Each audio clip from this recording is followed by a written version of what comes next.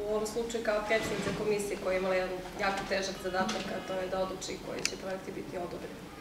E, Dakle, od ukupno 38 projekata koji su pristigli, 27 je finansijski podržano, a prioritet za dodelu sredstava imali smo pre svega kod projekata čiji su ciljevi odgovarali ciljevima zacrtani u dokumentu lokalnog plana akcije za decom i čijom realizacijom može da se prati napredak kroz indikatore koji stoje u samom dokumentu. Komisija je u pojedinim projektima imala u objektivnost u planiranom utrošku sredstava. Tako da u nekim projektima na pojedinim linijama su korigovani iznosi, a u skladu sa tim će i realizatori projekta prilagoditi planirane aktivnosti. Ja u isto ime želim da vam čestitam, zaista su projekti odlični i verujem da će doneti dobrobiti dece.